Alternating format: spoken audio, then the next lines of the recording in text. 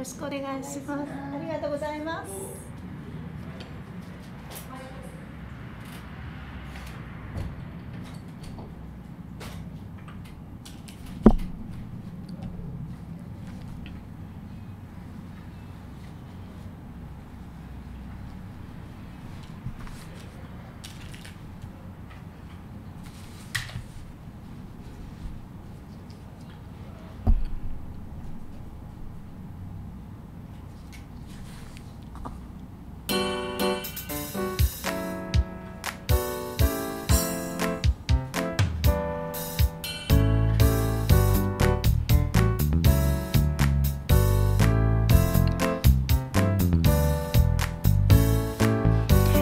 皆さんこんにちは。星みゆき改め星マリアメンズ革命の時間です。この番組は男性を世界一魅力的に女性を幸せにというコンセプトの番組です。この番組ではコメントを募集しています。FM 技能案ではユーストリームで映像と音声をホームページからネット配信しています。スマホで聞いてらっしゃる方は無料アプリリスラジまたはツイキャスで。ツイート以外にメールアドは797アットマーク fm 技能案 .com です。コメントお待ちしております。さて、えー、星マリアメンズ革命私ヒーリングフラメンコの星マリアと申します。よろしくお願いいたします。そして魅力的な番組サポーターは？はい皆さんこんにちは。ダンディモリッチです よろしくお願いします。はい。あの今日はこの二人でお届けしたいと思います。どうぞお楽しみください。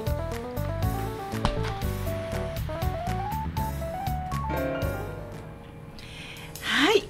えっ、ー、とですね今日はですね、えー、今、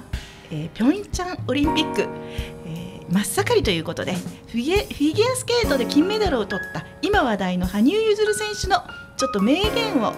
ダンディ・モリチさんとお話、えー、するコーナーを持ちたいと思います。番組にしたいと思います。まあ、ちょっとリラックスして今日は2人などで進めていきたいと思いますので、えー、お耳を少し拝借ください。えーとですね、えー、羽生結弦選手の,、まああのまあ、金メダルを取ったということですごくねいまだにね話題は結構そうですね、ね、流れてますよね。やはり国民的アイドルと言いますか。そうですね。すスーパースターと言いますかね。そうですね。すごいことです。そうですね。どういうそういう私自身はね率直に言ってそんなに別にフィギュフィギュアすごく好きなんですけど音楽的な部分でまあ好きで、まあ彼らのやってる技ってすごいものだとわかるので逆にね痛々さがこみ上げてきてしまってねなんかこんな大変なことしてかわいそうみたいな逆にねいけないのかもしれないけどそういう部分にねなんかあの感情移入がいってしまうんですけどもどうですかね？あのそういう中でですねやっぱり不安の方もとても多いのであまり変なことも言えないと思うんですがあの不安というよりはあの一人の選手として素晴らしいなと私は思っています。であのまあ、彼のメンタルメソッドの中に、えー、本番での心の在り方それから向上し続ける心それから、えー、感謝する心ですね高いモチベーション。事実を的確に認知すること、えー、こういうことがあの主に書かれているんですがそしてねあの人としての在り方っていうことにも触れています。彼のメソッドの中には。あのま、これはねもともと羽生結弦選手は王者のメソッドっていうメソッドという本を出してらっしゃるんですね。でその中で抜粋されているものなんですけど要約すると今のところまで人としての在り方それから気持ちを切り替えるというふうにこの8個の、えー、モードをまず上げてらっしゃるんですけれども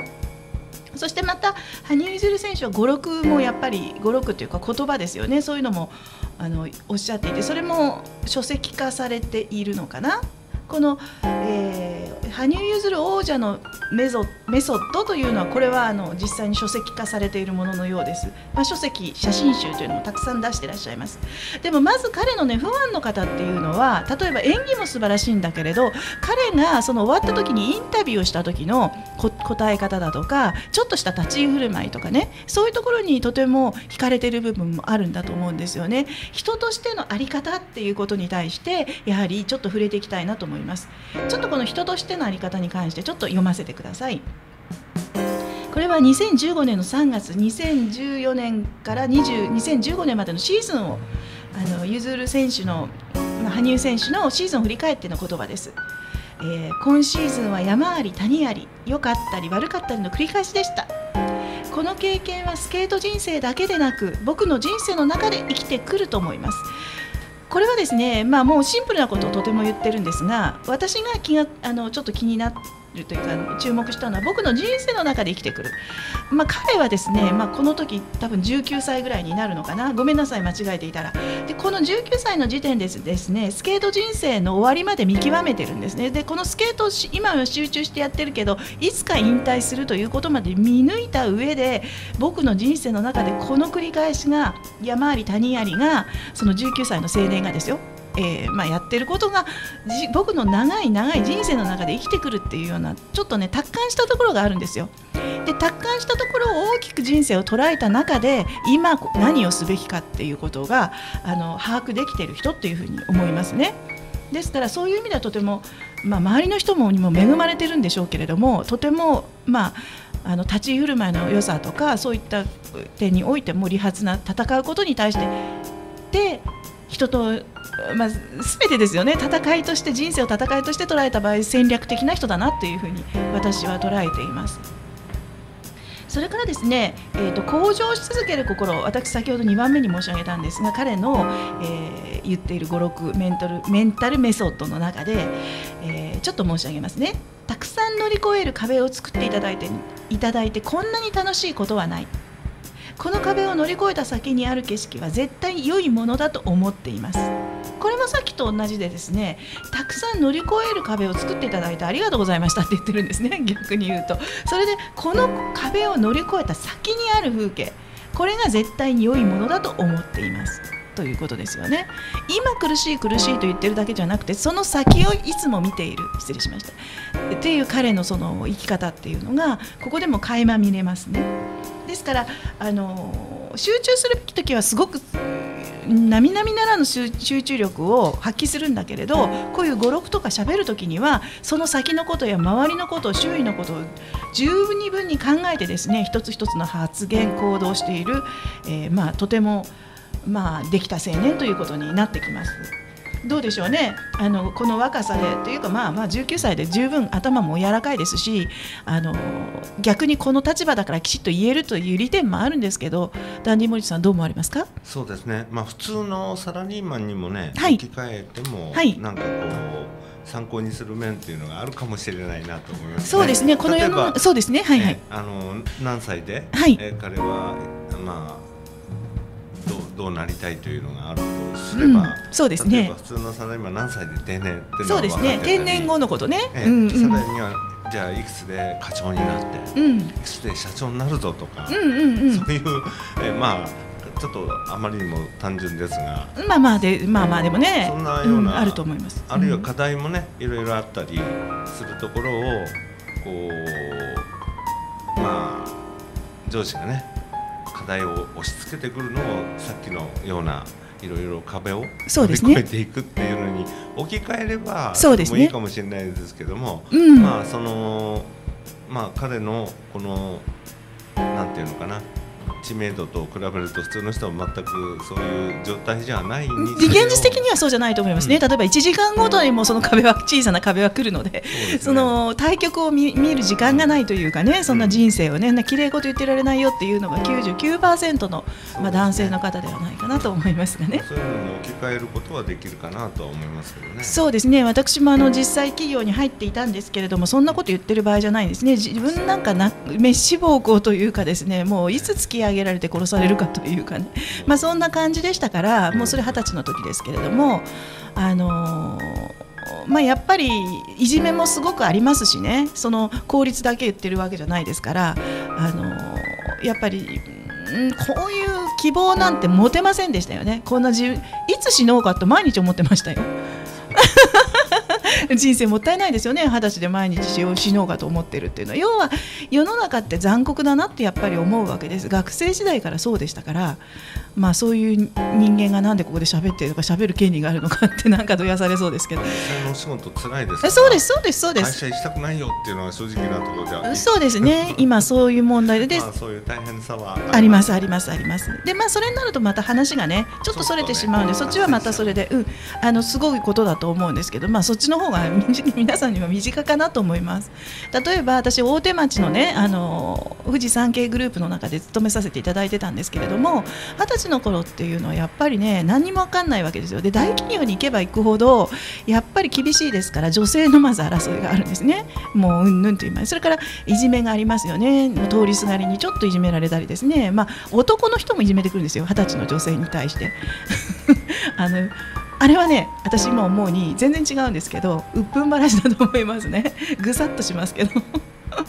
こんな地位の、まあ、中間管理職ぐらいの人が結構いじめるんですけどね。で私中間管理職の人嫌いでしたね。社長は好きでしたけど昔からそうです。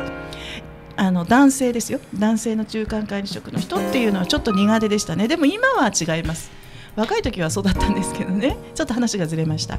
で結局何言いたいかっていうと彼の場合はやっぱりそれだけ最初からねもう子供の時から戦うってことをもう決めてこの道って決めちゃったから強いんですよ。でひょっとして彼がね途中で会社とか勤めちゃったり余計な道にそれていたらまあここまではいかなかったというね。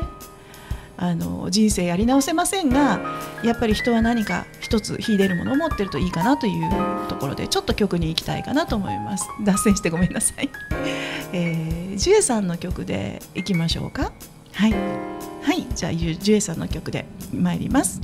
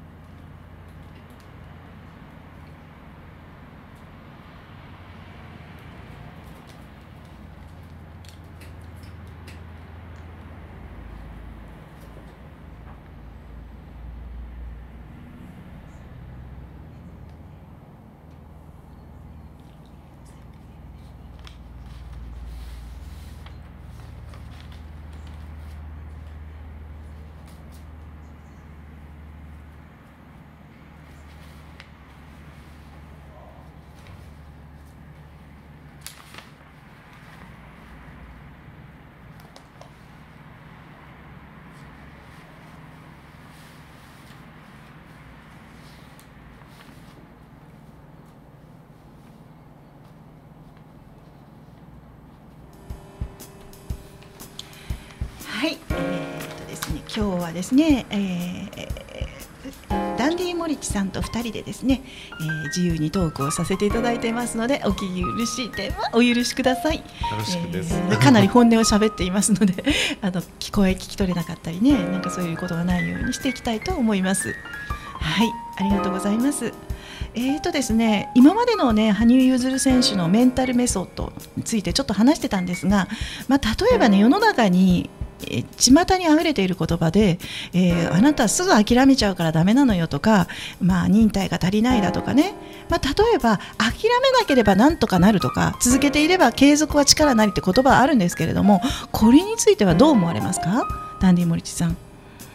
諦めなくてはそうですね。難しいですね。やっぱり自分にできる範囲のものかそうでないものかっていうのはあるんで、はい、やっていることでもね、はい、えー、これはどうしても完全にこなせる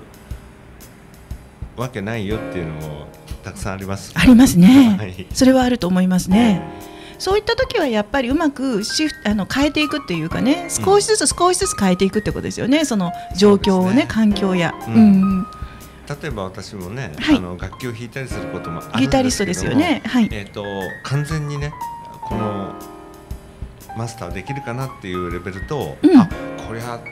ある程度で端折るしかないぞという、うんうん、ごまかして終わらしちゃえって、まあ、しょうがないやっていうことだってありますね。うん、それはやっぱり知恵というかねやっぱりもうもちろん羽生結弦選手もそれは持ってらっしゃると思うんです言わないだけでね。だけど、まあ、あの皆さんに落とし込めるレベルというと今のダンディ・モリチさんのはそうだと思いますね。まあ、ちょっとこうギターで言えば本番ちょっと変えていくっていうことですよね少しその。状況に応じてね。そうですね。例えば1週間あったら1週間でできる範囲しかできないぞということも多いし。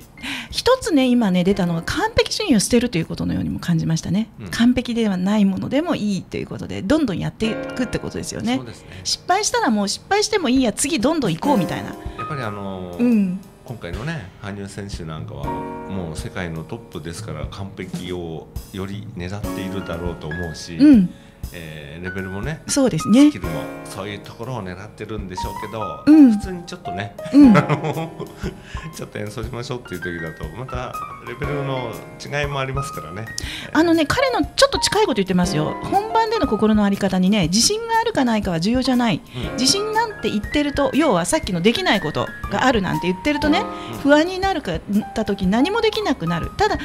今ある状況で全力を出すと考えればいいっていうのにちょっと似てますよね似てますね。うん、あのーまあちょっと舞台は大きさは違ってもギターを弾かれるときに、ね、あもうここはちょうど弾けないや。でもそれはそんなこと言ってたらもうその舞台やれなくなっちゃうからそうですね。ちょっと近くないですか？近いです。世界を舞台に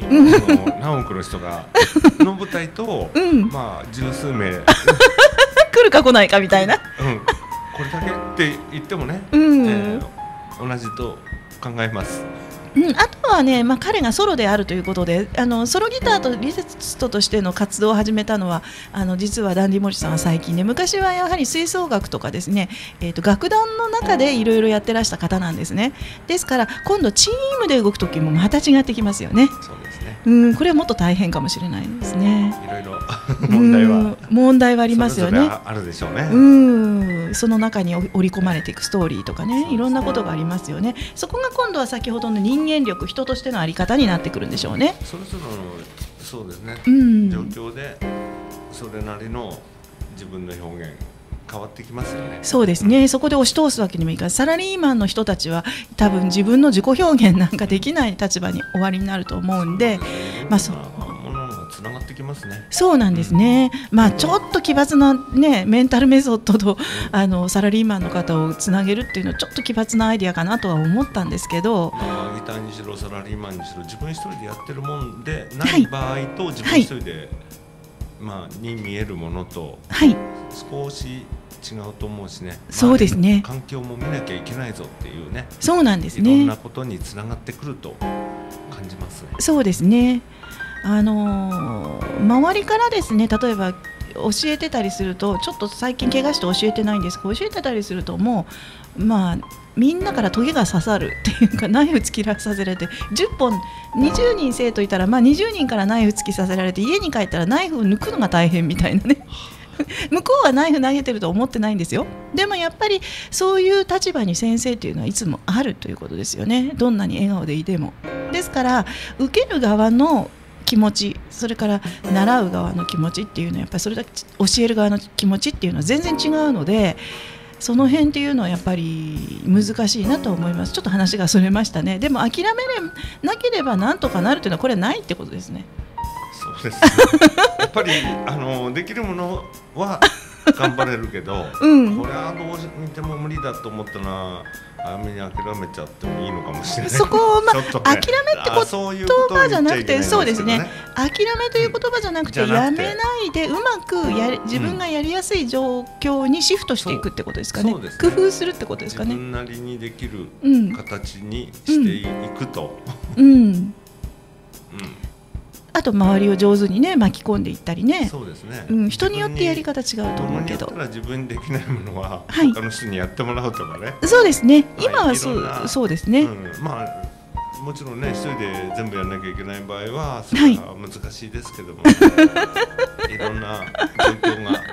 それぞれあると思うんで。そうですね。皆さんやっぱりそうだと思いますね。あの趣味の世界であってもですねもうなかなか続かなかったりでもそれには必ず理由があるのでまずそれにチャレンジしたっていうご自身を認めてあげてでなんで人間関係とかでやめざるを得ない方とか会社も女性なんか特に多いと思うんですけどもう辛かったらやめてもいいと思うんですよ。ただその次のことを考えた上でやめた方がいいというこうなんていうのか示唆もこの彼のメンタルメソッドの中には入っていますよね。えーと、人としての在り方、うん、あの山あり谷ありでもそれが結局は最終的には僕の人生の中で生きてくると思いますというふうにおっしゃってますよね。あと気持ちを切り替えるということも言ってますね。新しいシーズンになったらまた違う場所で違う試合違う演技違うお客様がいてそこで全力を出し切る。これはやっぱりもう気持ちをもう昨日までの引きずらないということです。昨日はこうだ。前辞めた会社のことをいちいち忘れいちいちもう思わない。もう昔のことは忘れて次の明日を見ていく。っていうことなんでしょうね。でこれは私一番自分自身においても必要だなといつも思います。うん。なかなかこう自分自身変えることっていうのはなかなかできないんですけれどもああもう例えば新しい年を迎えたらもう今日からはこれでやろうとかもうもう私はこういうふうに変わったんだからこういうふうに行くっていうふうに自分自身で自分をいさめていくというかそういうこうねそれを節目はやっぱりつけるのは自分でしかないじゃないですか。例えば離婚したからとかそういうのいつまでも引きずっててもしょうがないですし。まあ人間ってそんなにね割り切れるもんじゃないって私は本当は言いたいですけどね。ね人それぞれ感じるとことはまたあの、ね、聞いてらっしゃる方も今の状況によって違うと思われますので失礼なこと申し上げたら申し訳ありません。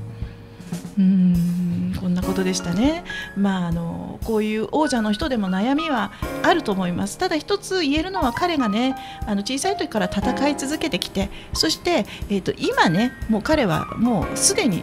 リタイアメントした時のことも考えて行動しているということですよね。だから彼の演技は私にとってはちょっとなんて痛々しく映るのかもしれませんね。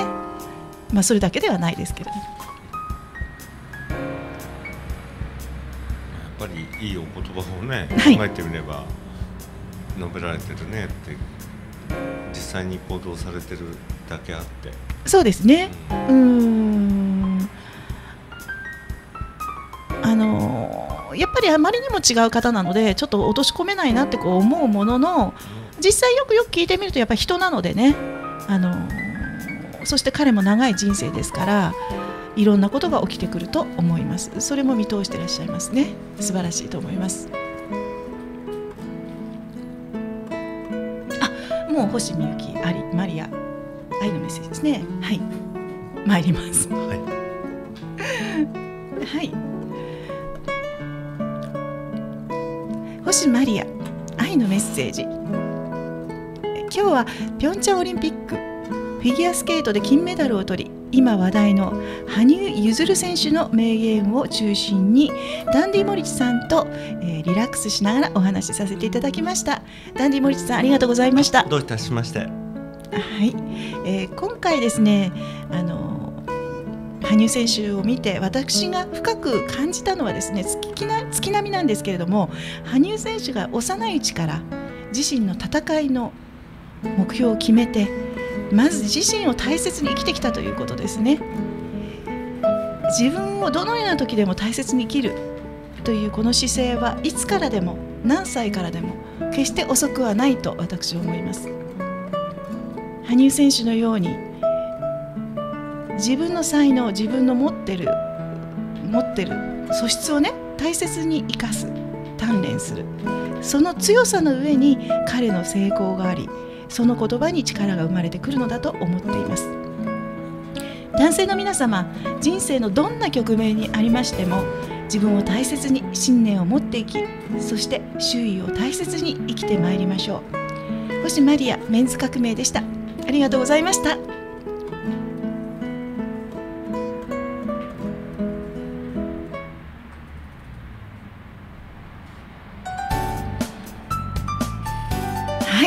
ちょっとリラックスしてお話しさせていただきました。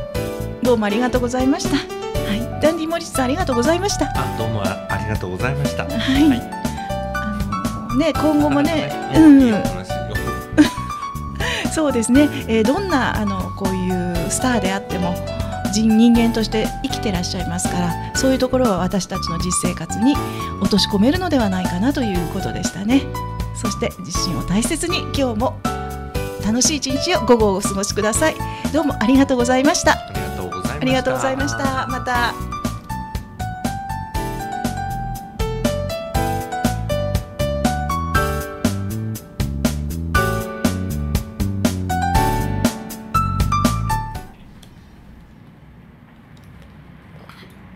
どうもありがとうございました。どうもありがとうございました。ありがとうございました